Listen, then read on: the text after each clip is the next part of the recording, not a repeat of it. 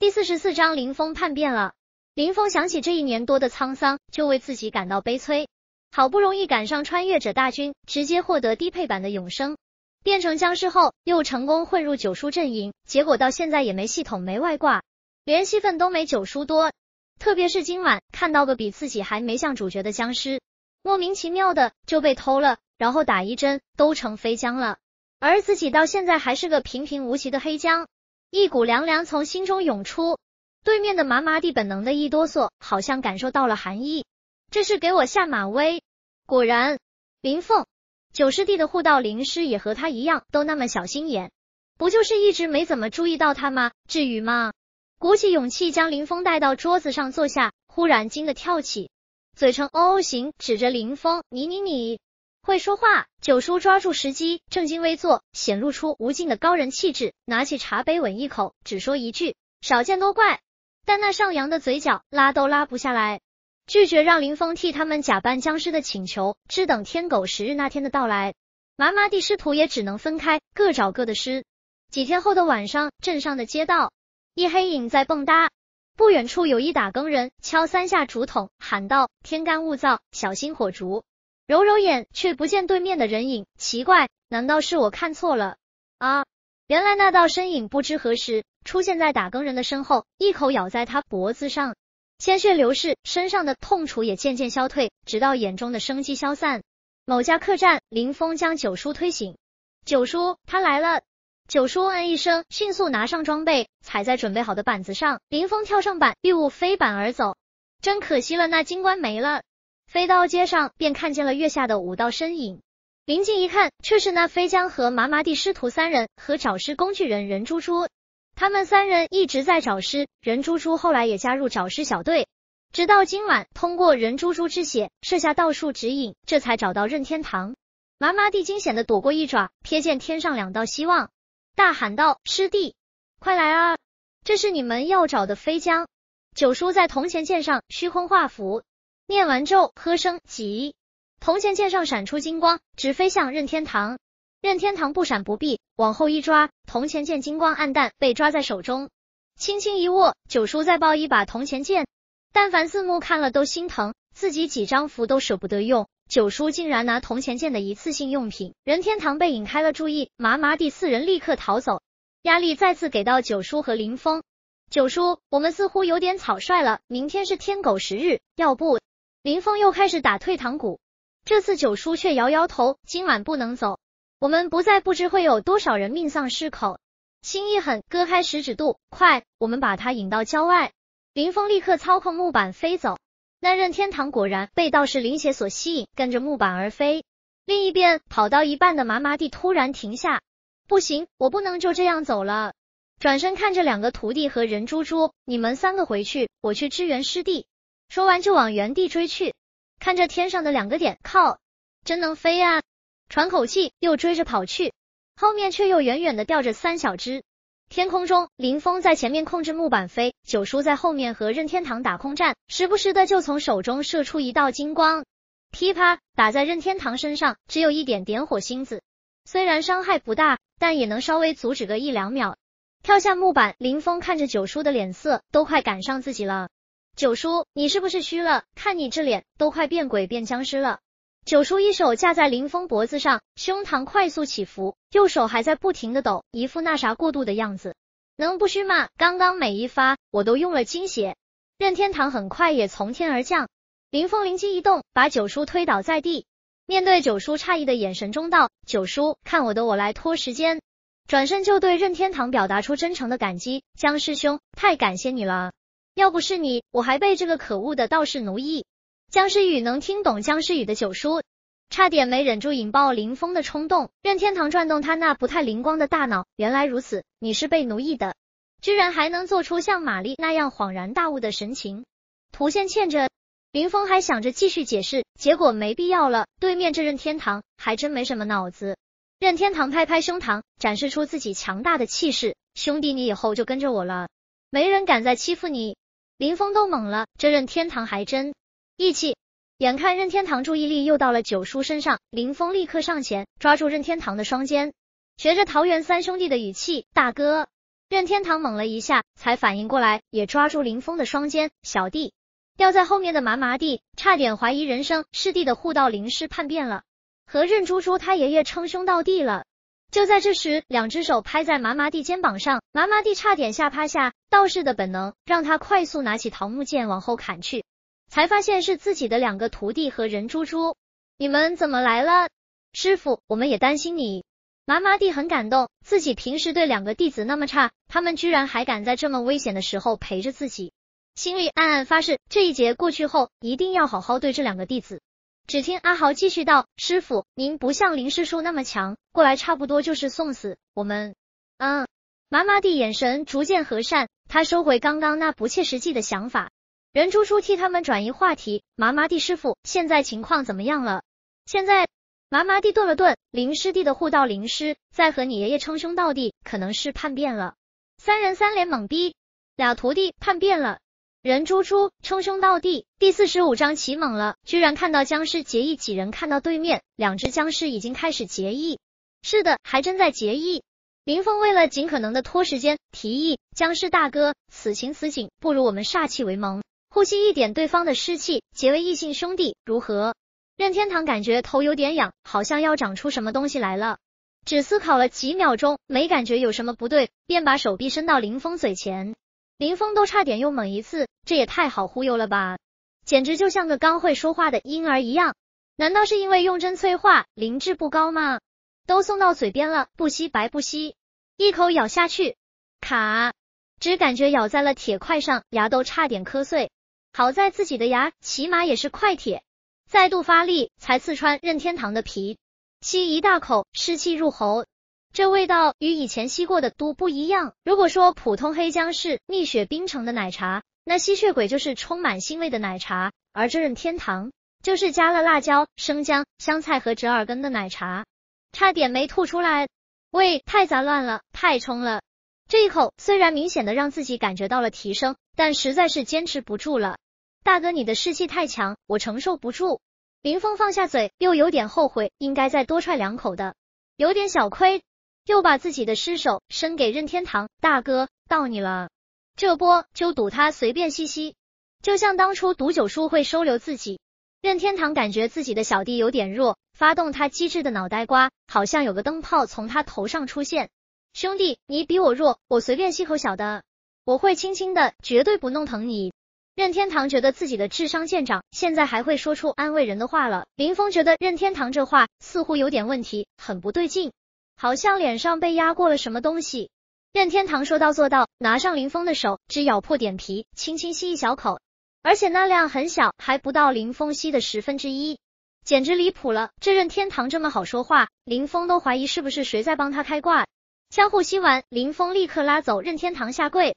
任天堂疑惑一会儿，但也跟着好兄弟照做。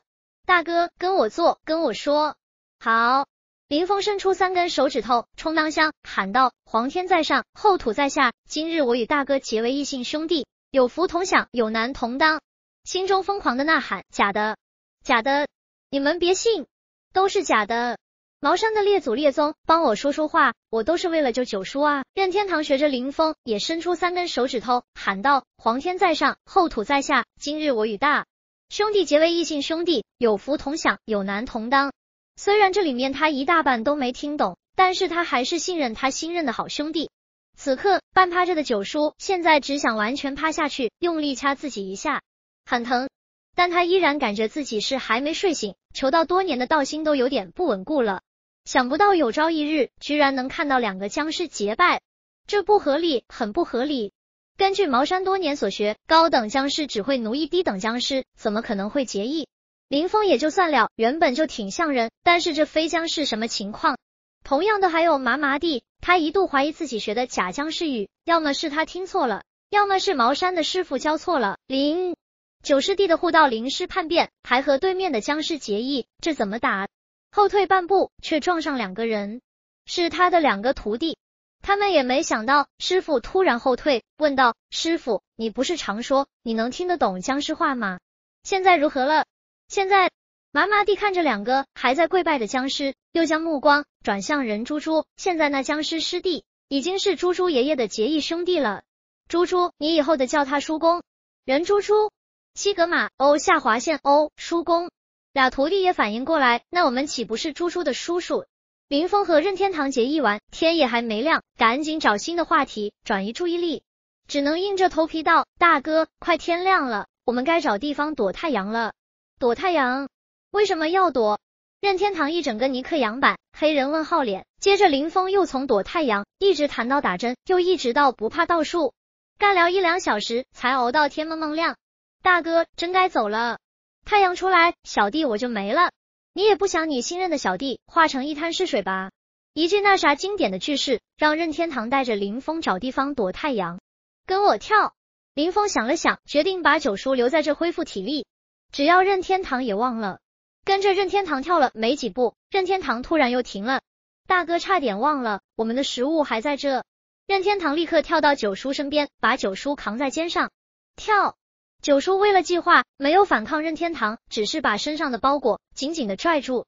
这样一来，在前面带路的就变成了林峰，林峰则果断的往山神庙方向带路。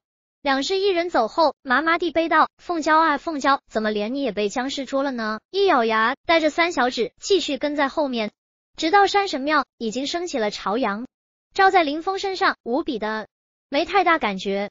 林峰疑惑，是因为自己身上的黑袍，还是太阳太小，又或者是任天堂的那一口湿气？跳进山神庙的阴暗处躲好，生是送你的人，死也是怂的尸，穿越了也是怂的穿越者，还不敢乱尝试，除非迫不得已。等林峰躲好后，任天堂拍拍胸脯，也不知道他是怎么做出的动作，指着还在打坐的九叔兄弟，你好好等着，这食物等我晚上给你留着。还真讲义气，如果不是自己已经是九叔的师了，说不定还真跟着他混，然后等他被九叔弄死，再跟着九叔。九叔见自己生命安全，暂时得到保障，继续打坐恢复体力，只等正午的到来。第四十六章，对不起，我是卧底。约末九点十分，山神庙门外出现鬼鬼祟祟的四道人影，麻麻地伸出半个头向庙内观察，只见死白的医师脸，等等，僵尸，哎呦喂！手一下没使上力，双脚猛地一蹬，摔了个屁墩。任天堂一手一个，两趟把这四人抓进山神庙，又朝里面的阴暗处喊道：“兄弟，大哥又给你抓了四个食物，等晚上给你留着。”半梦半醒状态的林峰却没听清任天堂所说的诗话，麻麻地才从惊愕中走出。这一天一夜给了他太大的震撼，先是僵尸结义，然后是阳光下的僵尸。如果不是打不过，他现在就想把任天堂抓到他师傅面前，让他看看僵尸怎么就不能在阳光下活动了。但凡让他师傅知道，一定会狠狠的揍麻麻地一顿。他当年教的明明是飞将以下，任猪猪被摔在地上，叮当一声，身上的怀表掉在了地上，哒哒哒哒哒哒哒哒哒哒，任猪猪顿时脸刷的煞白，因为那他爷爷已经朝他准备看来，那生前慈善的爷爷，此刻却是那么恐怖。曾经一直黏着爷爷，现在只想他爷爷离得越远越好。僵尸脸越来越近，越来越近，任猪猪已经被吓得闭上眼睛，仿佛认命了一般，不敢呼吸，只听见自己的心跳声以及曾经爷爷最爱听的音乐。一分钟，两分钟，三分钟，久久没有被咬，任猪猪悄悄睁开小半只眼睛，大概有李佳荣号那么大。只见爷爷任天堂侧着头，耳朵靠近怀表，一动不动，静静的听着音乐，就像个死人一样。从其他人的角度看，任天堂是直扑向怀表，对任猪猪似乎没有一点兴趣。这和他的老表任永威完全不一样。那任永威一变成僵尸出关，就立马去找他的乖儿子。众人不敢打扰任天堂，直到怀表没电，音乐停止。好，任天堂瞬间发狂，举起双手，仰天长啸。这时候，九叔和麻麻地居然感受到一股莫名的安心。这任天堂终于像一只正常的僵尸了。但很快，麻麻地用嘴吹口哨，接上音乐，任天堂又安静下来，把头侧着靠近麻麻地。麻麻地，你不要过来啊！麻麻地脸都绿了。这任天堂还越靠越近，让不让人活了？不到两分钟，麻麻地嘴都开始发麻了，疯狂示意两个徒弟接班。两徒弟这时候还算靠谱，一个个接班。在之后就是任珠珠和九叔轮了几圈之后，九叔已经将准备好的五行法器传给了每一个人，还差一人，便只能有任珠珠凑数。九叔吹完最后一个音节，一脚踹开任天堂，把他踹的山神庙中间。行动！虽然还不是正午，但是他们实在是吹不动了。而且如果等到正午，林峰出不来，那不就白白浪费了这只飞将吗？但好在天狗十日的时间快到了，九叔四人立刻站好位，一个个将手上的东西扔到任天堂身上，最终绕成一个心形。只剩下任猪猪不知道怎么办，抓住星星的其中一角，急忙喊道：“九叔，我啊，我啊，我不会。”九叔咬破手中手指，将血精准的甩到任珠珠的额头，两人瞬间同步动作，五人用手指画着不知名的道家印法。正逢狂风大作，天色开始变得暗淡，原本耀眼的太阳好像被一只巨大的天狗咬在口中。接着，从天而降的一道雷电击打在任天堂的身上，任天堂本能的感受到威胁，开始剧烈的疯狂。但五行阵虽然没有那一百零八根银针，却也能限制任天堂的行动。五人使上全身的劲，才堪堪限制住任天堂几秒钟的行动，但够了。天雷的速度比想象中的更快，直接击溃任天堂脖子皮肉，一股恶心的腐肉烤熟的味很快充满整个山神庙。任天堂的湿气也无法控制的从脖子上散出，没有一百零八根银针，天雷也无法精准的击溃任天堂的每一次穴位，湿气消散的速度远不如原来。这时候天已经完全暗了。如果没有后手，可能又是一番苦战，搞不好还要失败。麻麻地已经开始急了，师弟怎么办？天黑了，里面还有一只僵尸，你的护道灵师已经变成任猪猪的叔公了。听到林峰，九叔却显露出无比的自信，高人的逼格满满，身上黄色道袍的衣角适时的飘起。麻麻地两个徒弟以及任猪猪不禁想到，师伯九叔好有高人风范，比师傅麻麻地师傅强多了。对于林峰，这一年多来，九叔已经是很熟了。打硬仗、逆风局很可能干不来，但是面对这种有便宜占的，又或者碾压的，那是打的贼嗨。特别是抢狮头和抢鬼头方面，林峰是一个也不放过。这一年多，九叔都没有机会补刀了。很快，林峰正如九叔所想的那样，从暗处跳出，还不忘记大吼：“大哥，我来帮你！”僵尸与精确到躲开每一根五角星的绳子，跳到任天堂身后。任天堂出现一股正常僵尸不该有的激动，直呼好兄弟，大哥真没认错你。有好兄弟在，任天堂挣扎的动作都小了。他相信，只要他们两个是一起，绝对能吃掉对面。在任天堂身后，林峰精神没忍住流出来哈喇子，贪婪的盯着任天堂的脖子，伸手擦掉嘴角不存在的口水。大哥，你的脖子这怎么了？我帮你看看。林峰的头离任天堂的脖子越来越近，越来越近。任天堂还没感觉到不对，好兄弟，我的脖子被天雷打烂了，只要把他们……好兄弟，你干什么？林峰已经张口咬住了任天堂的脖子，贪婪的吸着湿气。而这次林峰居然已经适应了任天堂的湿气，是有了第一次之后就能吸得更久了吗？嘴上的活，林峰也没有忘记。我的好大哥，对不起了，我是卧底。第四十七章尸体不舒服，先躺下了。对不起了，我是卧底。说完，林峰一手抵住任天堂的头，一手按住他的肩膀。任天堂暴怒，马上就要爆发。九叔五人同时用力拉扯，就像是两个人的战斗，五个人在帮忙推背，嘴上也没有忘记配上 BGM，五个人轮流吹着口哨，哒哒哒哒哒哒哒哒哒哒。任天堂爆发的动作开始变得一颤一颤的，僵尸的本能让他开始挣扎，但这身体里深处的音乐却总能让他想起什么。不久后，任天堂在这他最爱的音乐中被林峰吸干，只剩下一层皮骨，成功解锁沙师专业户，专治湿化清气。不管怎么样，任天堂也是有了一点飞将的特性，即使不完全，也能留下一点东西。任天堂塌在了地上，到死才发现自己的好兄弟居然是内奸。那时任天堂即使变成僵尸，也能在这音乐停留。任猪猪也逐渐陷入童年的回忆。最后却是要在这对爷孙女他们最美好的回忆片段杀了他爷爷。爷爷，任珠珠失声痛哭。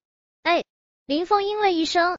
任珠珠刚开始悲伤酝酿好的情绪被打断，一时间哭也不是笑也不是。林峰则是在想，毕竟和好大哥结拜了，虽然目的不纯，但是既然吸了他的一身湿气，那他的孙女也是自己的孙女。悲伤到一半的任猪猪被打断，看着他在地上一坨的爷爷，原来的悲伤想接也接不上去了。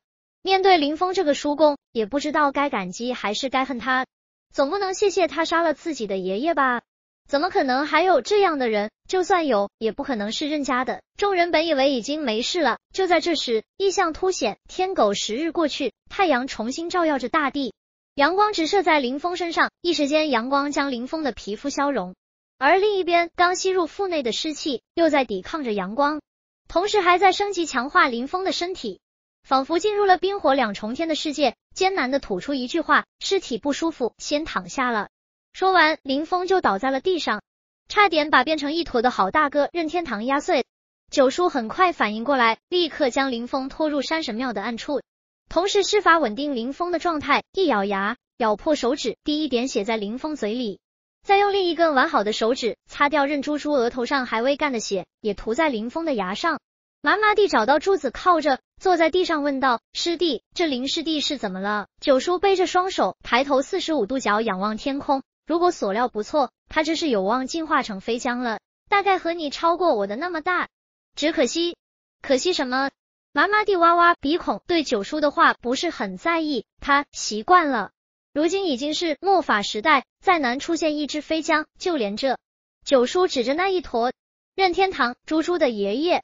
麻麻地答道：“依我看，他也不是真正的飞将，只不过不知道用了什么办法，让他有了一点飞将的特性。”会法术，会飞，不惧阳光道法。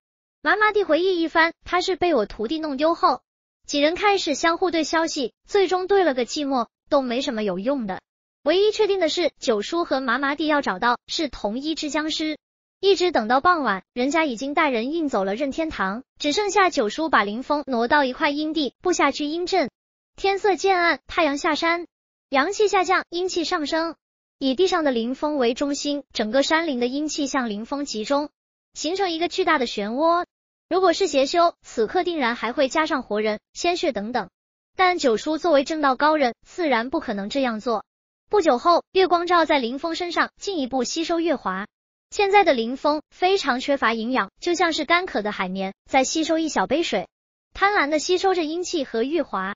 九叔找到位置很好，让林峰整个晚上都有月光照耀。等到身边的树木青草挂满了露珠时，林峰已经醒了，没有冲天的湿气，也没有特别大的变化。林峰看着自己的双手，毫无血色的白，又带着漆黑的长指甲，本能的告诉自己，现在阳光已经无法让自己变成湿水。以及九叔打我一下，用道术。刚醒来的林峰迫不及待的找打，九叔对这个变态的要求当然满足了。当年义庄的大门被拍碎，抢自己那么多头，那么多次不会说话，都会一一记得。他林九可不是小心眼，是林峰特意要求的，这可和自己无关，自己还是好心好意的助师为乐。抽出桃木剑，插上一张符纸，又拿出八卦镜，对着朝阳取一缕朝阳紫气，为桃木剑开光，默念咒语，对着桃木剑虚空画符。林峰看的是越来越心慌，对付其他怪都没见九叔这样打。有理由怀疑是不是自己什么时候不小心得罪了九叔，让他这样开大。本着对好大哥任天堂的信任，林峰决定试试九叔的深浅。按以前的规律，每一次吸了一只僵尸或者吸血鬼，自己多多少少也能得到一定的能力。那这次说不定也能加强对道法的抵抗。反正此刻已经不惧阳光了。这时候，九叔的前摇准备已经完成，那种桃木剑就当棍子，重重的打在林峰的胳膊上。哦哦。痛痛痛！九叔左一棍，右一棍，时不时的还会打出一点火花。林峰胳膊上、背上居然都开始出现了淤青，好在皮糙肉厚，耐打。直到九叔打累了才停下来。虽然疼，但林峰很开心，自己就要像个主角一样开始崛起了。终于能出现在阳光下，一般的道术已经无效，似乎还能和九叔打的有来有回。回到客栈，九叔将麻麻地一起带回茅山，而麻麻地的两个徒弟也早就准备好抛下他，跟着任猪猪去丑国。某日，任猪猪偶遇任婷婷，任猪猪，你是堂姐？任婷婷，你是猪猪？相互聊一下各自家长里短。我跟你说，你肯定不敢相信，我爷爷变成僵尸了，你爷爷也变成僵尸了。好巧，我爷爷也是，我爷爷还是被九叔带着另一只僵尸杀死的。好巧，我爷爷也是，我爷爷还把我爸爸给杀了。好不巧，我爸爸没事。任婷婷又道，我还特意感谢了那只僵尸杀死我爷爷。袁猪猪，没想到还真有这样的人。第四十八章，印超人重新找到金冠，被修好了。看这熟悉的尸气，是我的好大哥。时隔多日，林峰再次睡进金棺，却闻出了不一样的味。这金棺不干净了，他又装过了别的尸。原本就是继承了别人的二手棺，如今却因为自己没能守护住他，就被别的尸睡了。林峰悍然决定：九叔，等你死了，我就用这口金棺埋了你。九叔，前几天还是打亲了。麻麻地，你现在有事要暂时离开一会儿。麻麻地略带疑惑：我没事啊。不，你有事。你最好有事。一路向东，两人一师还算愉快的飞到现今的江 N M 苏巨荣。进入茅山，有九峰、十九泉、二十六洞、二十八池，峰峦叠嶂，云雾缭绕，俨然一处仙人居所。山上奇岩怪石林立密集，大小溶洞深幽迂回，灵泉圣池星罗棋布，曲涧溪流纵横交织，绿树碧山，青竹繁茂，物华天宝。其核心宫殿乃是九霄万福宫、元福万宁宫、仙人洞、华阳洞、喜客泉。通报过后，从茅山脚下走向大殿，直让人心旷神怡，豁然开朗，让事战战兢兢，小心翼翼。九叔深呼吸几口，感觉又能多活几年。林峰只感觉处处受压制，可能要少活几年。进入茅山正殿，就见几位紫袍白发道人坐在正中。九叔麻麻地当即拜道，见过几位师伯师叔。林峰学着他们的动作，也一齐拜着。僵尸林峰给诸位师伯师叔拜年了，嘴瓢了一顺嘴就说差了。正手的紫袍道人伸手虚扶，朗声道：“起。”叙旧完，很快就进入正题。某紫袍师叔，如今地府需要阳间的印钞人，负责印制地府的冥币，这是一份积攒阴德的美差。另一位紫袍师叔接着说：“经过我们慎重考虑，这印钞人需要有我茅山最全的传承。”还得是茅山难得的奇才。第三位紫袍看着九叔和林峰，又道：“以及与鹦鹉有足够的交流经验。”九叔和麻麻地听完，只感觉这样的人名字瞬间就出来了，都是设计好的。虽然表面上给了一个公平竞争的机会，但是这一个个的要求都直接锁定了某一个人，就差直说名字了。这时候氛围已经到了，正手那位最白的紫袍师伯道：“这样一来。”只有林凤娇你才能完美接任。九叔很有眼色，多谢师伯师叔。一阵互夸后，某紫袍道人凤娇啊，虽然你和我们并无师徒之名，但除了暴雷师兄，都在我们的店学过道法，我们却有师徒之实。如今暴雷师兄唯一的弟子时间，却又性格暴戾，甚至还听说他的弟子石少坚是他儿子。九叔都惊了，什么？石少坚是指是大师兄时间的儿子？事情就这么巧合，大师兄时间恰好进入大殿，前面的话都没听到，只听到九叔这句话，林丽的脸变得的阴厉。好你个林凤娇，我不在就在这打小报告，就这么担心我和你抢那是吗？连我徒弟是我儿子这事都说了。九叔转头一看，本能的感到不妙，看大师兄这脸色就知道他误会了什么。整个茅山，谁不知道大师兄时间是最小心眼的人，不像自己，不仅天资卓越。还为人宽和、谦逊有礼，受茅山众师弟的爱戴，优点都能说个没完。刚刚那位提到时间的紫袍师叔，立刻转移话题：“凤娇，我带着你的护道灵师去养师弟。”九叔林峰，多谢师叔。脱离下一代的针锋相对，紫袍师叔和林峰很快绕到了养师弟。站在洞口，紫袍师叔开始介绍：“这是我茅山护山大阵的一道阵眼，以极阴之地与另一处极阳之地形成太极。”而这极阴之地的关键就是里面的半指游尸。林峰很好的做个捧眼，为什么是半只？紫袍满意的点了点头。这僵尸会来事？问的很好，下次不要问了。重点不应该是茅山护山大阵吗？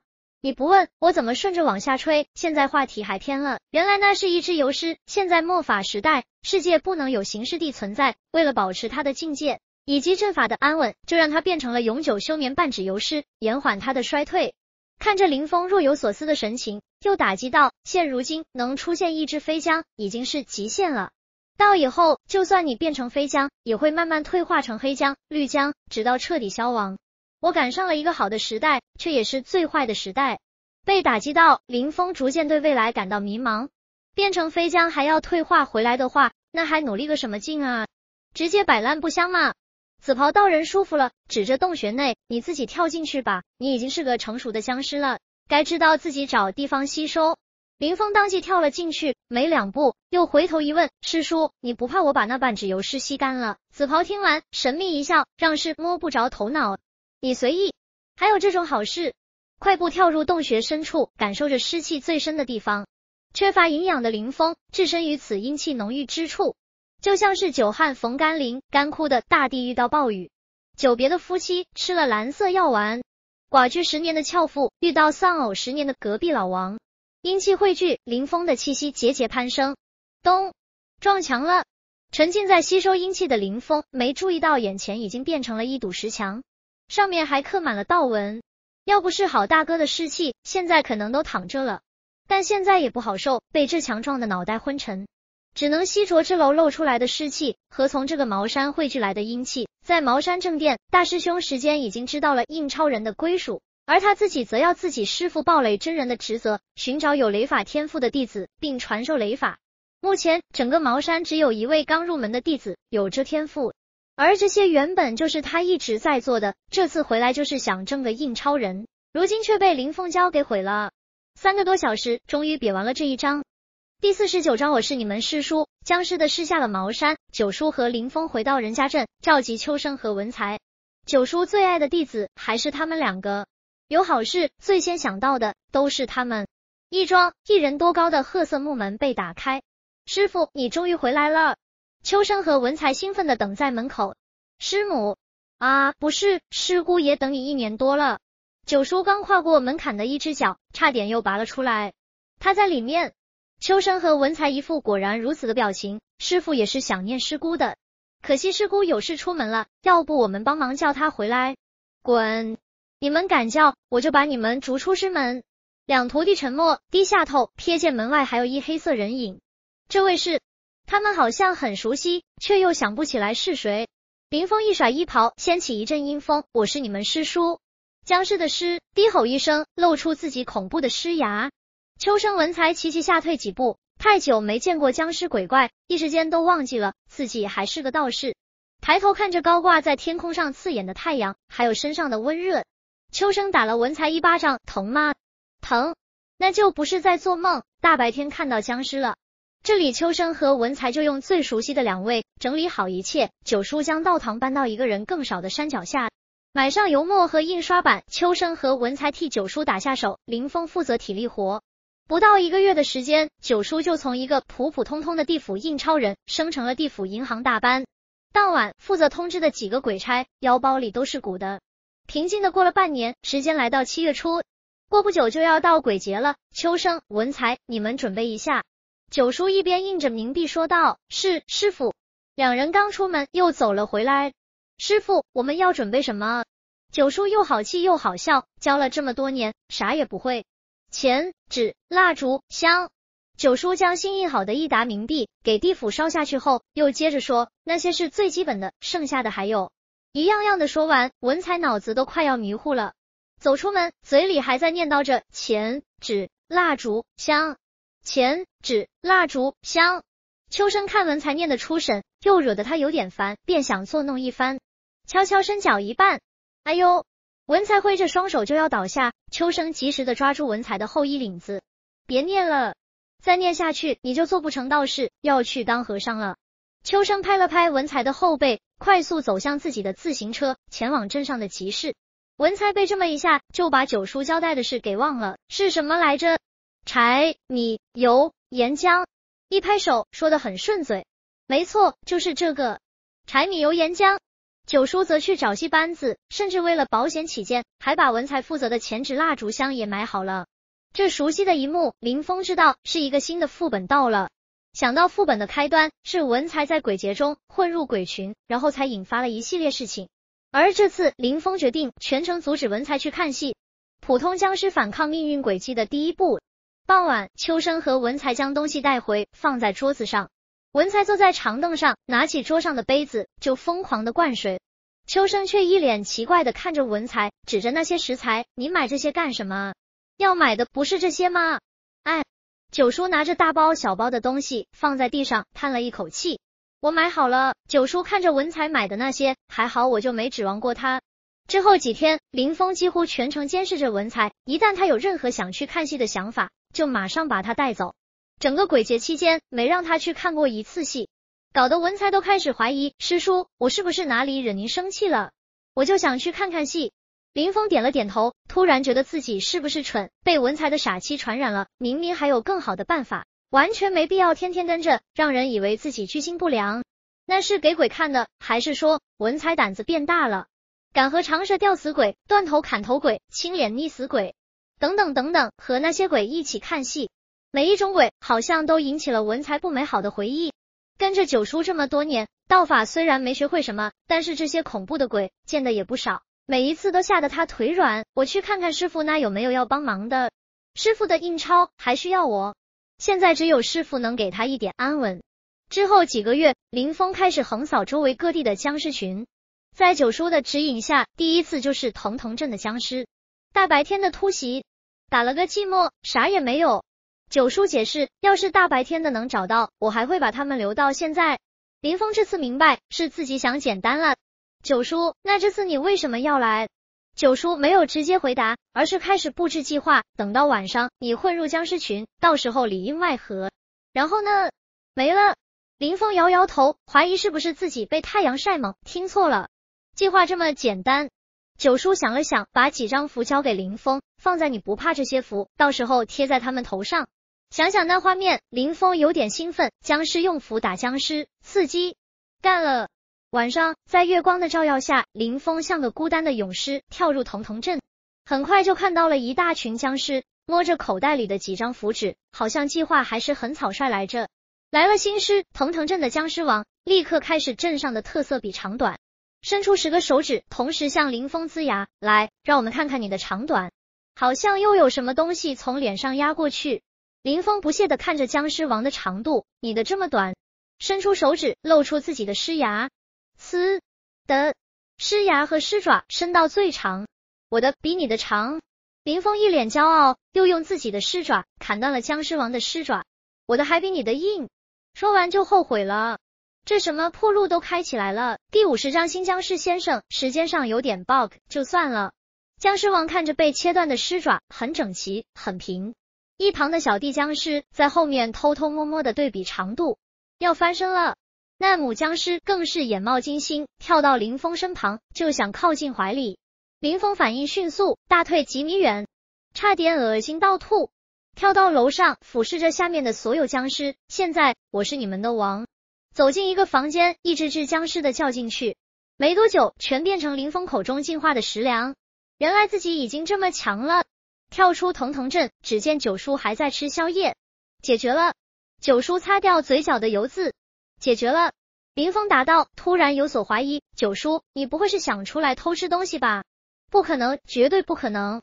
从腾腾镇回来后的几天，林峰又和九叔找到一处僵尸群，还从对面僵尸王口中打出一块绿油油的僵尸菌，手中握着僵尸菌，没想到还是打在了时间那。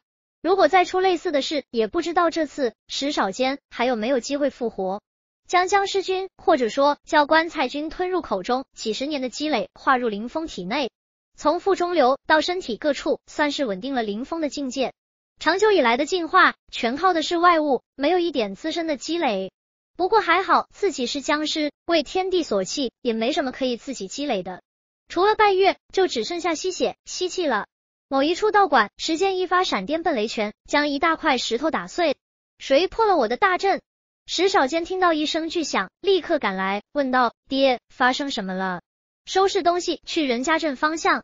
那不是林九的地盘吗？石少坚在背地里受时间的影响，对包括九叔在内的茅山师叔都没有一丝敬意。我的棺材君可能被偷了。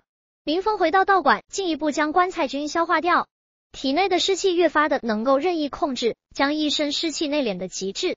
九叔都感到一丝惊讶，不仔细看都看不出你是纸僵尸了。绕着林峰走了几圈，依然感受不到湿气，连连点头，不错不错，以后你就和秋生、文才一样，在道观自由活动，只要保证士气一直如此内敛。从此以后，林峰开始出现在常人视野上，甚至还和秋生一起接过一些捉鬼生意。整个任家镇逐渐知道了林峰这个人是九叔的怪人师弟，几乎没有人见过林峰的真容。神秘感保持的很好，但越神秘，任家镇的人还就想找林峰。九叔的生意都变少了一点点，但不多。风水、看相、算命等等要技术的，林峰都干不来。一直到大半年后，已经是林峰来到这个世界的两年半了。地府开始出现金融危机，冥币过多，地府物价上涨，开始出现通货膨胀，整个地府忙成一锅粥，甚至投胎都开始出现问题。又有了大批的被母亲堕胎的灵婴无法及时投胎，甚至投胎之后又被堕胎。九叔只能暂时辞去地府银行大班的职位，回到任家镇开设祭坛，供奉那些灵婴。那一晚，兰桂坊告别戏坛演唱会，秋生和文才准备了一个礼物，文才负责把纸币用熨斗烫平。师兄，这烫出来的就跟新的一样。秋生拿着一个红色大爱心盘，爱心中间是一个由纸币摆出来成型的方字，接过纸币，将方子的最后一块补上。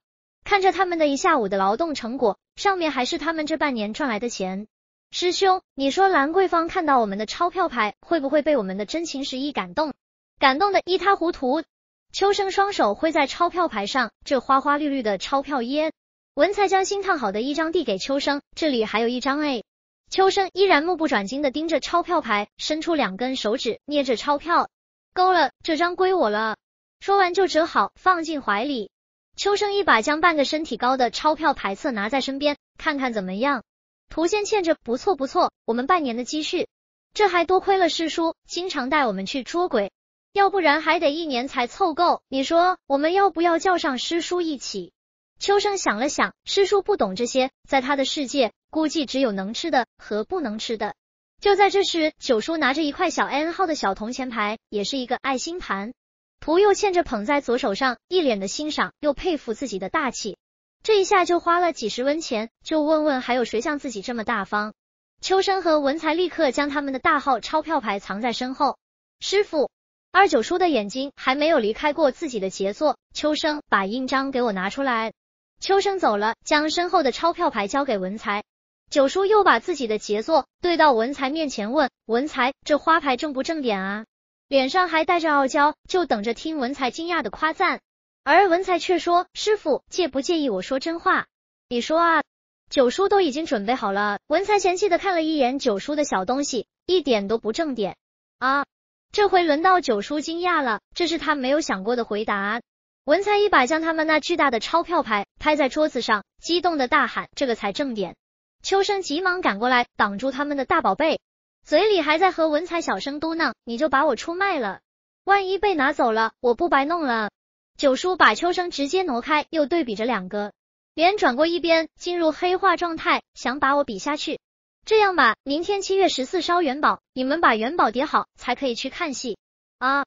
要编一整筐，叠好了，天也亮了。你叠还是不叠？九叔和善的问道。叠，我叠。九叔这才左手拿上印章。右手拿着他的小东西，用力一盖，右手及时躲开到一边，印章精准的盖在了秋生和文才的大宝贝上。等等，师傅！秋生、文才急忙上去阻止，却没快过九叔单身几十年的手速。哎呀，完了，积蓄泡汤了！文才摔脸变哭脸，秋生惊得张开嘴，不敢相信的看着眼前的一幕。第五十一章，林英真是不好意思，我一不小心就盖错了。不过。都是送给芳姐的，大的小的就无所谓了，反正我无所谓啊，算我倒霉好了。将手中的小花牌和印章放在呆愣的秋生手上，拿着那巨大的钞票牌，蹦蹦跳跳的走到门口，真漂亮啊！到了门口还来一句正点啊！秋生和文才只能悲催的去叠元宝，越想越亏的秋生拍了下文才的后脑勺，都是你害的，自作聪明还不知道师傅吗？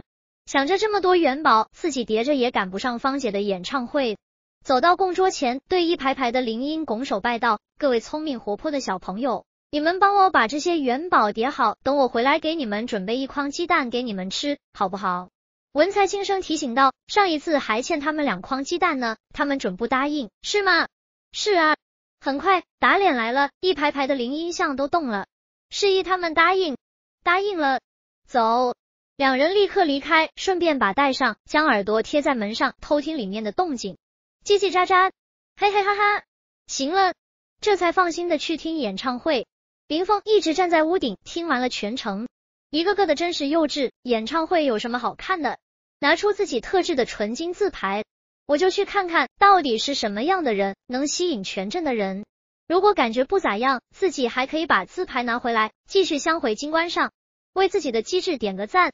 推开门吓跑所有的林荫。林峰也见怪不怪了，这些林荫就是这么惧怕他的威严。将桌上的小花牌一起拿走。正中心演唱会举办地，九叔来的很早，拿着巨大的爱心钞票牌，瞬间成了全场最靓的仔。九叔豪气，从今以后谁敢说九叔吝啬，我史浩池第一个不答应。九叔所到之处，享尽无数人的赞扬，收到了数不胜数的羡慕眼光。在外围还有人在出售花牌，也是爱心状，中心还有个铜钱摆出来的方字，被那神秘人以高出平常三倍的价格卖出去。那人拿着新买的小花牌进场，却被九叔注意到他手上的丑东西，好眼熟，好像在哪见过。没来得及多想，芳姐出场了，很快就注意到了九叔，冲着九叔一挥手，感谢大家的欢迎，感谢这位。要不是九叔是个道士，说不定都能和芳姐嗨嗨。不可说，不可说。秋生文才，那本该是我们的，我们的。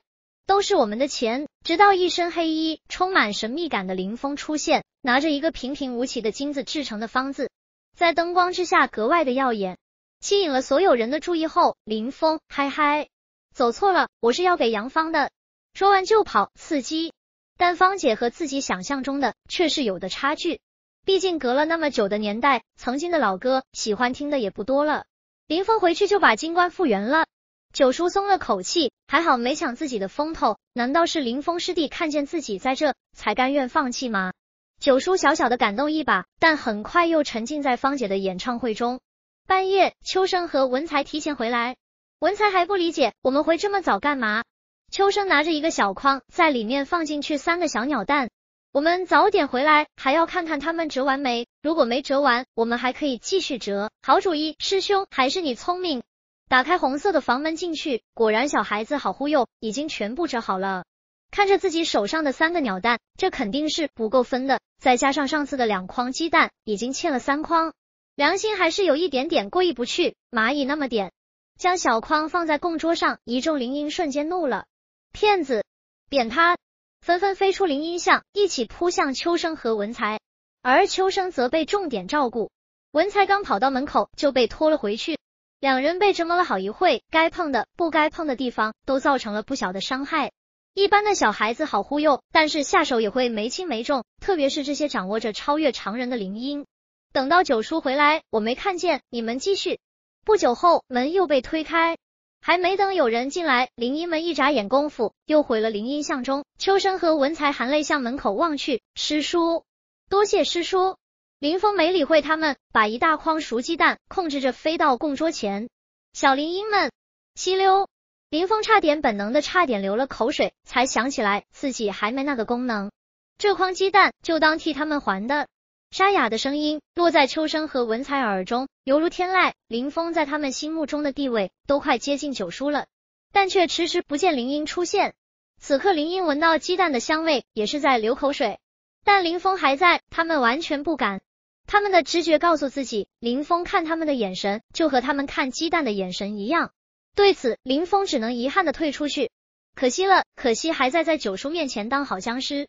有时候真想肆意妄为，为所欲为，为所欲为。林峰一离开，所有的林荫一个不落下的出来吃鸡蛋，对秋生和文才小小的怨念也消去了。九叔满意的看着这一幕，越发感觉这两个弟子做人方面，居然还不如林峰这只僵尸。你们好好反省反省。九叔呵斥一句也走了。从演唱会离开的，其中还有一老一少。老的正是大师兄时间，年轻的就是他儿子石少坚。怎么样，看清楚了吗？看清楚了，就是那个黑衣人，另一个很有可能就是林九。原来在时间布置好的阵法下，还隐藏着一点，只要有人破了阵法，就会把人影记下。九叔当时在边缘处，整个过程也没有出手，他出门就是来给林峰指路的，没有写给林峰西，只能从其他地方找补了。全程划水的状态下，九叔也没注意到细节，而林峰目前只知道粗暴的打架，也就偶尔用用。吸完好大哥之后获得的小法术，第五十二章有你们，真是师兄的福气。第二天，九叔就让秋生和文才把林英送到鹧鸪那，他才是专业的。而且这几个月的停止印冥币，地府物价又缓过来了。最近地府又让九叔回去继续干银行大班的活。秋生和文才将林英送到鹧鸪那，师姑师傅让我们把林英送来。鹧鸪侧着坐在凳子上，一手揉着屁股。刚结束一桩生意，屁股被打的真疼啊！你们师傅这么不来啊？鹧鸪对九叔身体和灵魂的想法已经是昭然若揭，人尽皆知了。师姑，你很想看到我们师傅吗？秋生文才露出莫名的笑。作为师傅的好徒弟，怎么能不帮师傅解决终身大事呢？鹧鸪娇羞扭捏道：“不知道啦。”秋生给一个肯定的眼神，有办法。接着按照原著那样说出他的计划：先找同道说媒，再把装病，让九叔前来看望，最后由秋生和文才的帮助下，让让师兄看到我的美。鹧鸪一拍桌子，最后定下计划。你们觉得怎么样？秋生和文才咽下一口唾沫，心里觉得不怎么样，但还是顺着鹧鸪说：“完美，师傅一定会爱上你的。提前叫您一声师母了，师母好。”现在鹧鸪看秋生和文才是越来越顺眼，打定主意以后和师兄在一起了，一定要好好对他们，也要帮他们找一个像自己这么美的妻子。秋生和文才只是隐隐约约感觉可能有什么不好的事要发生，似乎是有人要恩将仇报。这时候，林峰突然跳出来，我觉得不怎么样，还有更好的办法，还有更好的。鹧鸪瞪大眼睛，原本秋生和文才的计划就很合他心意，现在还有更好的，怎么能不让他激动？虽然不确定这僵尸都能懂这些，林峰声音独特沙哑的说，他们的计划可以当成第一步，让九叔看到，嗨嗨，你的美。而第二步，第二步是什么？好师弟，快说说。第二步就要让九叔看到你的重要。所谓以色事君，岂能长久？色衰而哀迟。师姐要让九叔看到你的重要性。鹧鸪回味着这句话，连连点头。虽然不是很懂，但听起来好有道理，好高大上的样子。看着这位僵尸师弟，还真有点东西。见鹧鸪基本被说服，林峰继续道：接下来最重要的是等一个合适的计划，让九叔出现他完不成、帮不到的事。让他不得不请你出手。从此以后，嘿嘿嘿，Hi all, hi we here。鹧鸪发出尖笑，笑容越发淫。突然又反应过来，可是师兄他几乎没有什么帮不到的，而且他不行，我就更不行了。林峰摇摇头，指着自己和秋生文才，这不是还有我们吗？有我们拖后腿，九叔哪有那么容易？就目前，比如这灵音方面，九叔不还得靠你吗？不错不错，师兄有你们这些师弟和徒弟，真是他的福气。计划很好，鹧鸪已经开始想他们第二个孩子叫什么了。文才忽然打断鹧鸪的美梦，师叔，可我们不会拖后腿啊！林峰向他们握拳打气，你们要对自己有信心，特别是拖后腿这种小事，你们能干的非常好，到时候收敛点就行了。秋生文才感觉受到了侮辱，效率很快找到了一个说媒的道友。在几天后的清晨，九叔在院子里打太极晨练时，给他说出目的。林峰没有打扰接下来的一切，放在是绝对会失败的，一如记忆里那样。九叔吐了，看到鹧鸪的美后，当面就吐了。九叔也是个实诚人，有什么事当面就干了，一点都不犹豫。鹧鸪气得怒吼：“好你个零九，吐！好你吐！你以后有事别来找我，你以后求我，我一定会让你付出代价。”有了这，林峰知道事情稳了。之后九叔想再找鹧鸪，就只能卖身了。特别是看到那些灵音中灰色被封印的魔音少了一个，那就更稳了。只是没想到这两年半以来，自己还没被九叔的正气感染，依然是那么自私。很多事自己明明可以阻止，但是为什么要阻止？九叔狼狈逃离鹧鸪的神婆殿，他要立刻回去洗洗眼睛。鹧鸪在九叔走后，立刻就哭了。他最近想过很多，唯独没想到吐了，师兄吐了。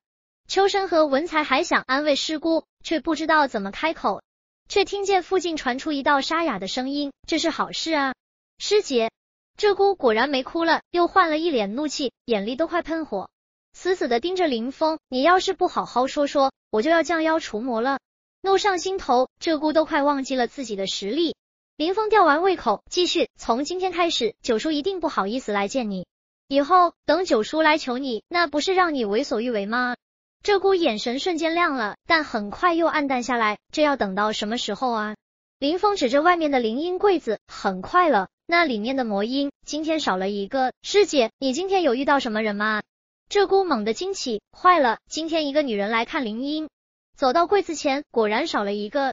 这可不是开玩笑的，那魔音一定会控制女人找孕妇，我要查整个任家镇的孕妇。计划取消，等下次。鹧鸪风风火火的走了，仿佛九叔的事已经过去。看着他们这些茅山弟子的背影，或许这就是自己和他们最大的差距。本质上，自己依然是个自私自利的师。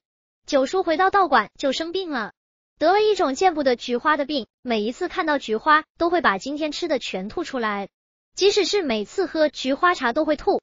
文才好心，为了九叔早日康复，天天给九叔泡菊花茶。喝下一口菊花茶，九叔又吐了。哇，师傅，你已经吐了三天三夜。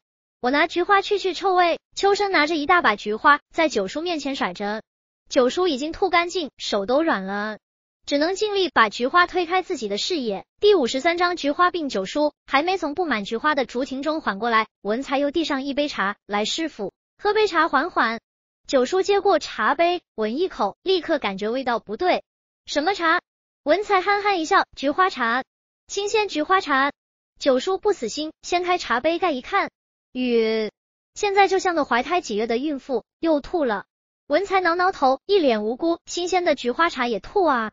另一边，道馆院内的拱门，拱门上写着“世外桃源”四个大字的横批，两边是一副对联。拱门下有一位头戴紫色小帽。长发披肩，身穿紫色碎花连衣裙，推着一辆粉色的自行车，手上还拿着一个白色小包的年轻女子，正经过葱绿的灌木丛石板小道，好奇的观察着周围的环境。他还没看到人，还在竹亭里插菊花的秋生就已经先看到他了，立刻走上前，展现出前不久听说的绅士风度。小姐，你找谁啊？那女子露出甜甜圈微笑，诺诺的问道：“请问林正英师傅在不在？”秋生转身指着竹亭。我师傅在那呢，又故意背对着女子，学着师傅那股高人风范。我呢，是师傅的入室大弟子，名字。这时候，文才默默的接过女子的自行车推走，将她引到竹亭九叔面前，只留下秋生对着空气自言自语几句话。说完，没等到任何回应，转头一看，人呢？人哪去了？竹亭九叔刚喝下一口白开水，放下茶杯，请问找我有什么事吗？我姐夫最近得了一种很奇怪的病。我姐姐希望你能去看看他。女子说的有点急切。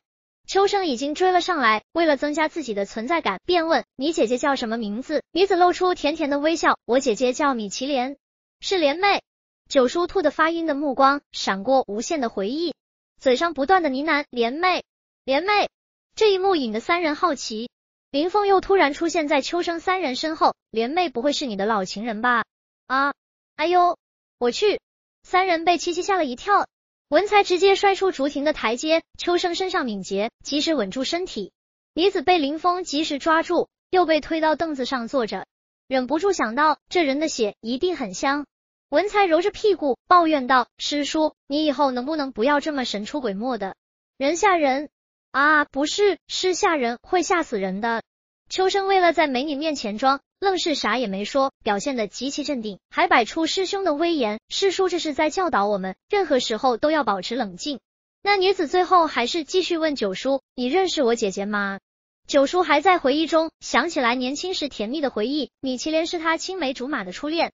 秋生见九叔还在发呆，又问：“那你叫什么？”我啊。女子看着秋生和文才：“我叫念英。”林峰突然插嘴：“你这名字一定是你姐姐取的。”而念的那个音，就是眼神示意着对面发呆的某人。九叔的回忆被四道八卦的目光击碎，站起身来，正想说什么，林峰又打断他：“九叔，快啊！再不去，你的老情人就要没有丈夫了。你也不想你曾经深爱的人失去丈夫吧？哪怕那个丈夫不是你。”秋生、文才、李念英，这是在劝人，这么好像师傅林师傅多了点什么。九叔拳头抵在桌子上，去见祁连的想法消去了一大半。是啊，她已经嫁作人妇了，说不定已经是几个孩子的母亲了。曾经深爱的彼此，迟早都会有各自的家庭。又想起当初的点点滴滴，他们是那么快乐。直到那一天，他毅然决然的前往茅山学道，一拳捶在桌子上，去，不要多事，你们收拾东西，等我换件衣服。说完，急急忙忙的回到内屋。林峰犹豫几秒，也不想被九叔抢太多风头，不如直接作为穿越者，都不像个主角了。你们招待念英，我也去换件衣服。秋生和文才有点奇怪，师叔也有旧情人，但是连僵尸都去换衣服，他们不去，岂不是连僵尸都不如？嗨嗨，那个念英，我们也去换衣服。嗯，你们去吧。米念英善解人意道。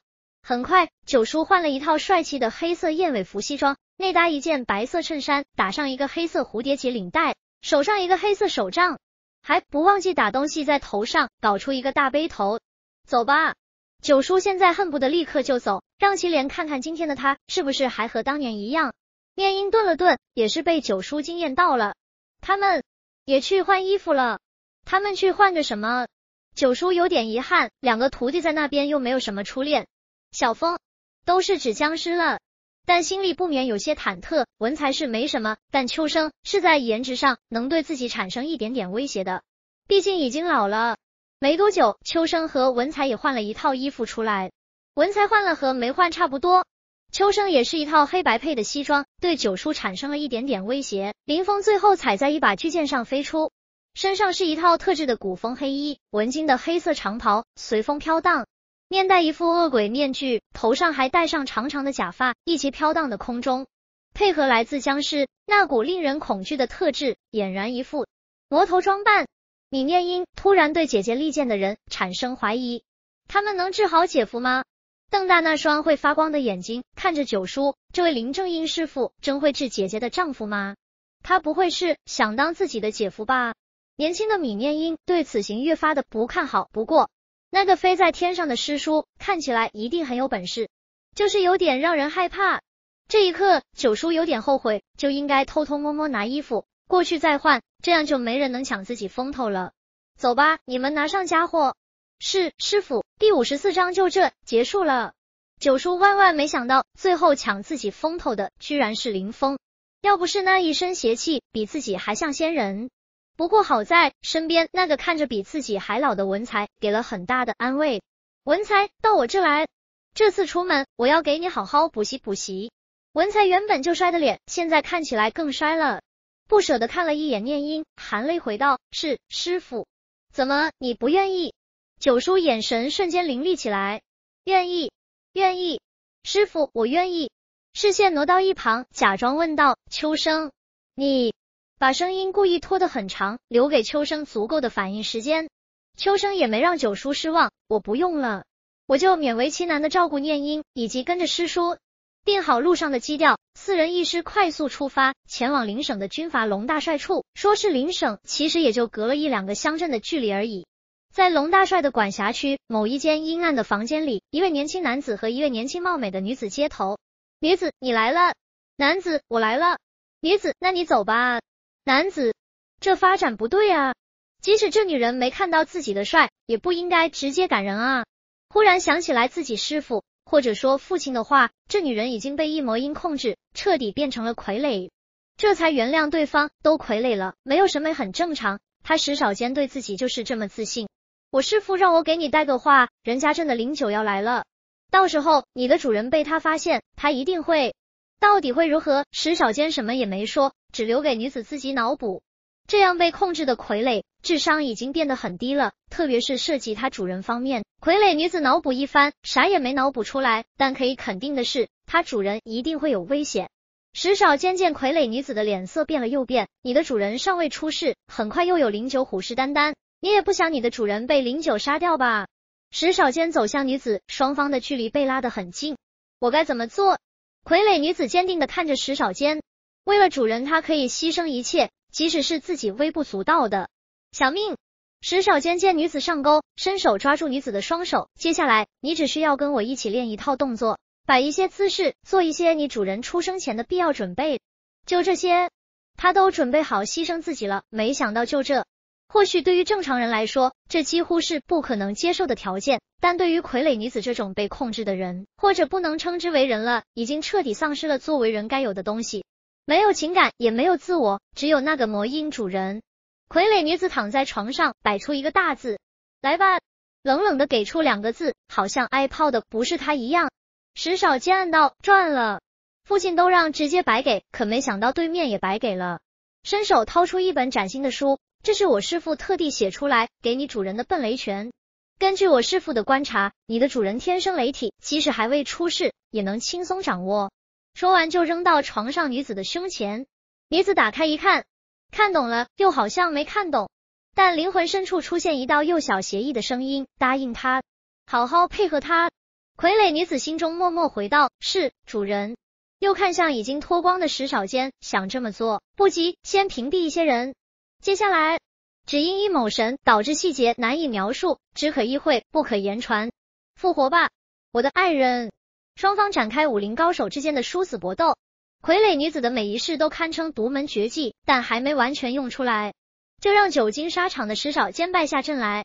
但傀儡却想起来主人的吩咐。立刻佯装体力不支，败退的闭上双眼。这个房间弥漫着春天的气息，不知道过去了多久。石少坚迈着微微发软的腿，穿好衣服，准备离开房间。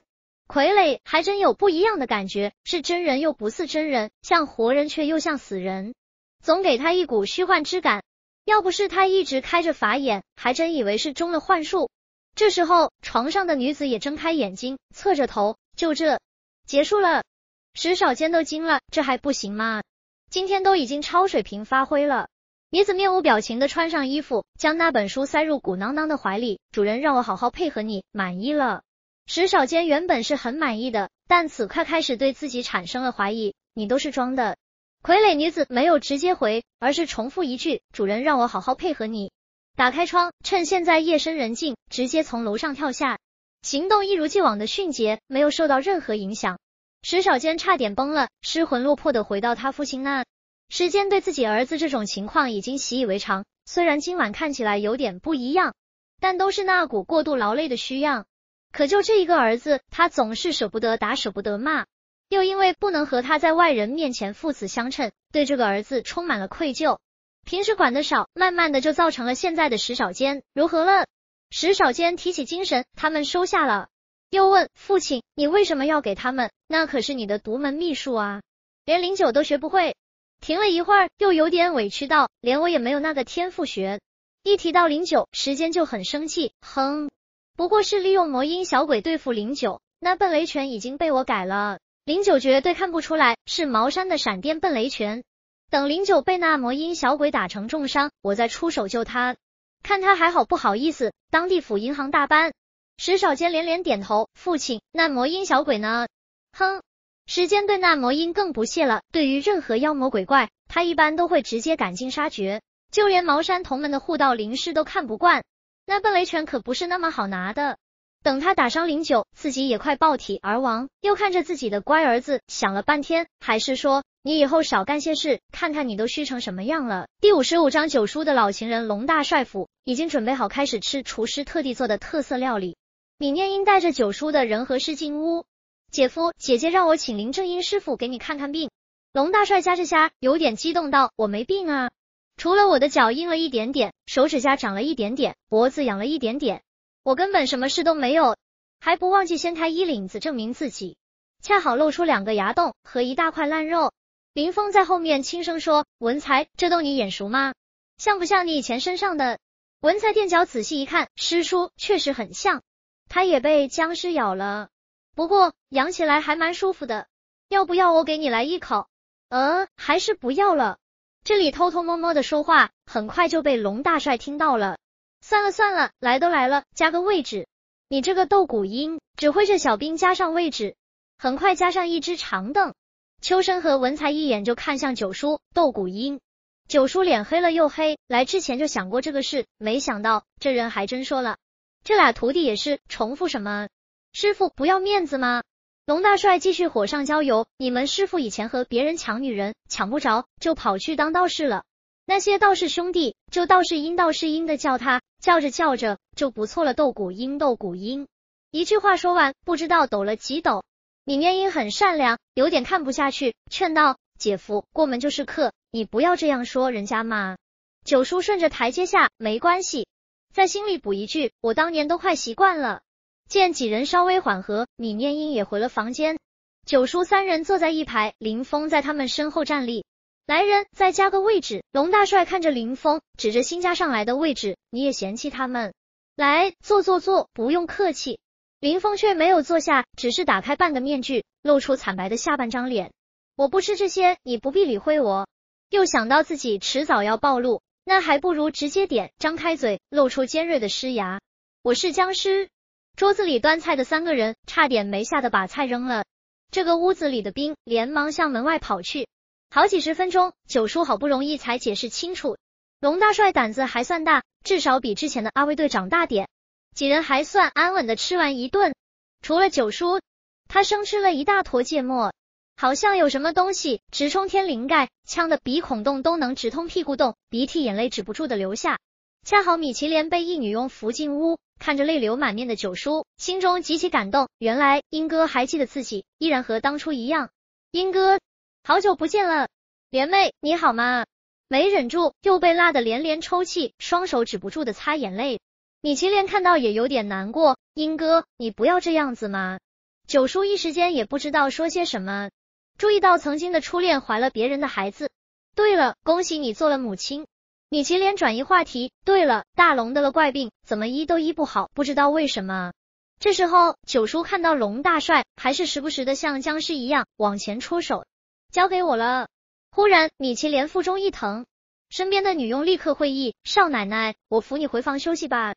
米其莲点点头，被女佣搀扶下去。正好米念英换完衣服出来，被九叔拉到一旁。念英，你姐姐身边那位是什么人？她是自己来应聘的，本事可大了。我姐姐怀孕的时候经常叫痛，可是她来了之后就再也没叫过痛了。忽然，龙大帅一拍桌子，我吃完了，来人备马。小兵，大帅，你的马昨天被你戳死了。啊，马，我的马，老马。一群人走到一处盆地，九叔立刻展现他的专业知识，开始解析当地的风水。林峰抓住关键词，简单总结一下：盆地有钱多病。九叔，对吗？我总结的怎么样？有没有学会风水的天赋？九叔转过身来，你以后千万不要跟任何人说学过风水，特别是不要跟任何人说跟我学过风水。走进池塘，便看见所有的棺材都被吊在了木架上，就连木架脚都用盆水割开地面。九叔还想继续装，但林峰不给他机会。九叔，里面有情况，我闻到了湿气。九叔只能埋怨的看了一眼林峰，走，快进去。只可惜，传说中闻名香港的风水大师洪金宝，这次没能从龙大帅口中说出了。很快，几人就看到了一个倒地的棺材，快打开看看。小兵立刻上前，几人一起抬，完全没有变化，没能打开。林峰将他们推开，让我来。伸出钢刀般的利爪，对着棺材从上往下的一划，棺材盖瞬间分裂成整齐的两半，就是不对称。里面的僵尸吼一声，跳出棺材，正要灭了打扰自己睡觉的林峰，则放出几乎达到黑姜晚期的气势，压得对面那僵尸连连后退，甚至秋生和文才也忍不住的吞咽口水，连他们自己也没注意到，已经后退了半步。要不是九叔挡在前面，龙大帅差点跪了下来。而距离林峰最近的那些小兵更是不堪，直接屎尿齐流，从他们裤脚里露出黄的黑的新陈代谢废物，而人已经彻底被吓晕。与九叔几人刚被冲的想吐，忽然脸色一变，那些东西引起了一些不良反应，他们也想拉了，各自以平生最快的速度找到了一个盆和一块板，扑哧，噗呲，呲。四道相似的声音从他们身下传来，这声音一听就很稀。林峰只能先控制着龙大帅他的僵尸父亲，一直等了好几个小时，天都黑了，他们才算是拉干净。整个祠堂都变成了狗子最爱的味，但人受不了。四人立刻逃出祠堂，找到门口的林峰和龙大帅他爸。最后在九叔的指导下，林峰抓住龙大帅他爸。秋生则用工具磨掉龙大帅他爸的僵尸牙，文才接住，再全喂给龙大帅吃掉。也亏他能吃下去，